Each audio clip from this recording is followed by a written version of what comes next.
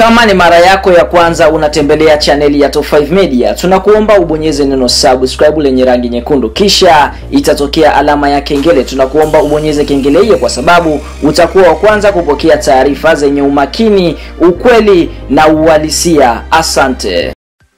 E bwana, moja kati ya pambano kubwa la ngumi ambalo tumetoka kulishuhudia siku ya leo katika mkoa wa Arusha ni pambano ambalo limemkuta eh, limemkutanisha bondia ambaye ana trend sana katika nchi ya Tanzania. Hapa tukienda kumwongelea Karim Mandonga, ambapo Karim Mandonga siku ya leo ameweza kuzichapa na bondia kutokea mkoani Kilimanjaro. Hapa tukienda kumwongelea Alibaba Tarimo ambapo pambano hilo limekuwa ni la raundi nne, na kwa upande mwingine Karim Mandonga ameweza kuonyesha ubabe wake kwa, m, kwa Alibaba Tarimo ambapo ameweza kumpiga kwa pointi, ambapo ikumbukwe katika raundi ya kwanza Karim Mandonga aliweza kuscore dakika za mwisho kwa kumpiga KO eh, Alibaba, lakini kwa upande mwingine Alibaba aliweza kuamka na kuendelea. Kwa hiyo kwa upande mwingine raundi ya kwanza Karim Mandonga aliweza kuscore E, KO lakini kwa upande mwingine Karim Manonga akaweza kurudi katika raundi ya pili na kuanza kuskola, lakini pambano hilo lilikuwa ni la raundi nne,